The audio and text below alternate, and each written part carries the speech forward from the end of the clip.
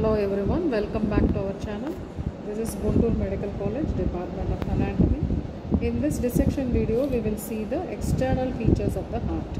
This heart you have to learn as five parts for the practical exams. First is external features of the heart. Two is interior of right atrium. Three is interior of right ventricle. Fourth is interior of left ventricle. Fifth is blood supply of the heart. Any of these questions may be kept for you in the first MBBS practical exams. So in this first video, we will see the external features of the heart. So as soon as uh, the heart is given for you in the exams, you will be asked to show keep the heart in the anatomical position. So this is the way to keep the heart in the anatomical position. We have to keep the apex to the left. As if uh, this uh, this hand you should consider this as the diaphragm.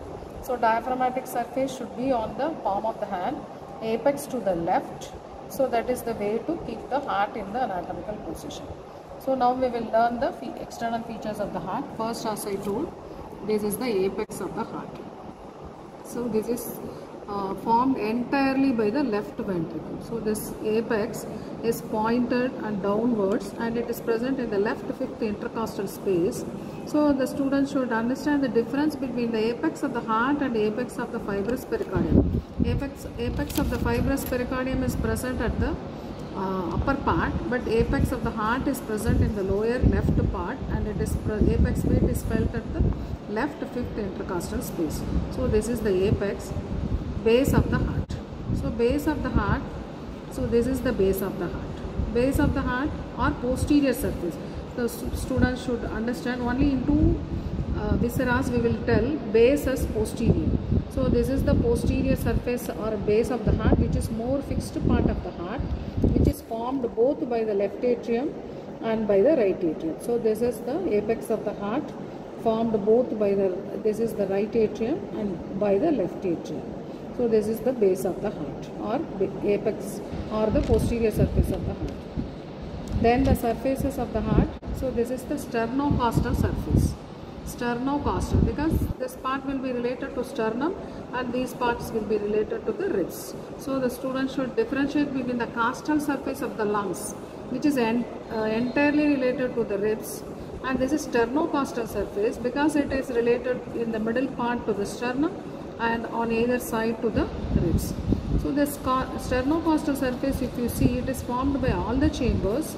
So this is the right atrium right ventricle left ventricle and in the uppermost part you can see the you can see the part of the left atrium also. So it is formed by all the four chambers. So that is the sternocostal surface. So what i am showing here this is the diaphragmatic surface. So this diaphragmatic surface is formed by the both the ventricles. You can see this is the right ventricle and this is the left ventricle. So this, is left ventricle and this is the right ventricle. Two third by the left ventricle and one third by the right right ventricle. So this is the posterior interventricular groove running in the diaphragmatic surface. So this this is the base of the heart mainly formed by the two third by the left atrium and one third by the right atrium and this is the diaphragmatic surface two third by the left ventricle and one third by the right ventricle if you see on the sternocostal surface, in between these two ventricles, right ventricle and left ventricle, are you seeing this is the anterior interventricular groove. So anterior interventricular groove is present in the sternocostal surface and posterior interventricular groove is present in the diaphragmatic surface. Now we will see the borders, borders of the heart. This is the right border of the heart extending from superior vena cava to the inferior vena cava formed entirely by the right atrium and this is the inferior border of the heart formed by the right atrium, right ventricle and left ventricle and this is the left border of the heart and formed mainly by the left ventricle and a small part by the left atrium. So we have seen the apex, this is the base, sternocostal surface, this is the sternocostal surface and this is the diaphragmatic surface and this is the right border inferior border left border. So this is these are the features we have seen. Now we will see the grooves on the external surface of the heart. This when you are given external features of the heart in the exam you have to see tell along with the grooves.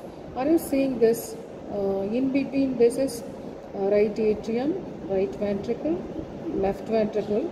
So there is a one circular sulcus around this that is called coronary sulcus. This is disturbed in the front by this origin of this great vessels. So it will be divided this coronary sulcus. In the front will be divided into right and left parts. If you see in the back coronary sulcus is clearly visible. Are you seeing? So this is the coronary sulcus so this coronary sulcus or atrioventricular sulcus in the posterior part contains this is the coronary sinus which is the vein of the heart. So in the posterior part contains the coronary sinus. In the anterior part arteries are present. If you see this anterior interventricular groove which contains anterior interventricular artery and the great cardiac vein. If you see this posterior interventricular groove it contains posterior interventricular artery and middle cardiac vein. This coronary dominance is uh, indicated by which this posterior interventricular artery takes origin from right or left.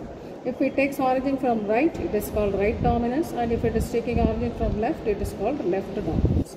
So in the external features of the heart, along with the surfaces borders, we have seen in detail the grooves also. So this is the coronary sulcus and this is the anterior interventricular sulcus and this is the posterior interventriculus. I hope you should have understood the external features of the heart in detail. With the next dissection of the heart, interiors of the chambers, we will see in the next video. Thank you.